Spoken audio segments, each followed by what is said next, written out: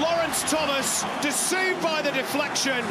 A strange, strange goal, but Heart don't care.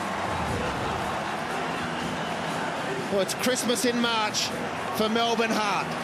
Traore with the turnover. This is a cross gone wrong, but horribly right if you're Melbourne Heart. Dugandzic, who's missed a few sitters to seal matches, has fluked one here at AAMI Park. He was looking for Ian Ramsey, but he finds the back of the net. Remarkable.